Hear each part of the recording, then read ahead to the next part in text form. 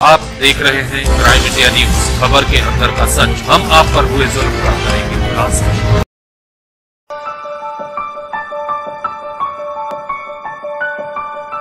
12 से 26 दिसंबर की अवधि में गोंदिया ज़िले में विभिन्न पार्टी व संगठनों द्वारा विभिन्न मांगों के संदर्भ में अनशन, धरना, मोर्चा, रास्ता रोको, जेल भरो व हड़ताल आदि की संभावना तथा 14 व 15 दिसंबर को महाराष्ट्र विधानसभा का अधिवेशन मुंबई में शुरू होगा।